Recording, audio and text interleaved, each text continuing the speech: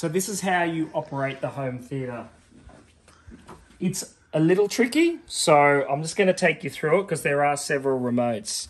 First thing you need to do is use this remote here, the Sony remote, and this is for the projector. You've got to turn it on. So it's very simple. There's a green button at the top right, and that's your power button.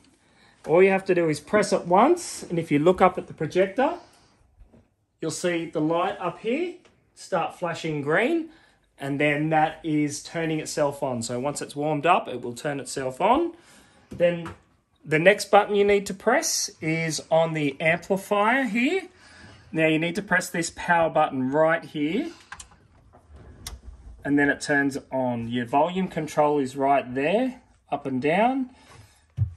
And then depending on what you use, whether you need it want to watch TV or whether you want to watch Netflix or something like that, there's two modules. So this bottom module here, the Samsung, that's for all your Netflix set-top box stuff as well as a DVD player. It's a Blu-ray DVD player. And the remote for that is this Samsung remote right here.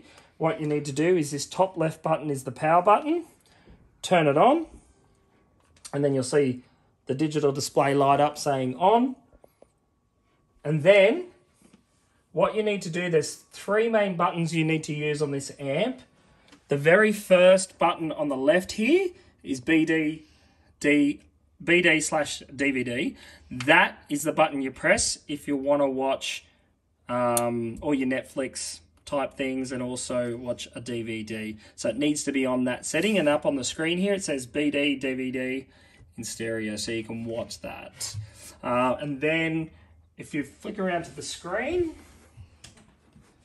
yeah, and, and using this remote, you can point the remote up to the projector. You can't point it at the screen. There's no actual laser there for you to, to do that. So you actually need to be sitting on the lounge and just point up to the projector. And you can go to Netflix, YouTube, Stan, whatever it is that you want to watch. So you just scroll using this on the remote. There's an up, down, left and right. That's what you use. If you want to go back, you just there's a return button there. That just goes back to the last screen. If you're ever watching Netflix or anything and you want to exit back, you can either hit keep hitting that one or there's a home button as well. If you hit the home button, it'll bring you back to that main menu.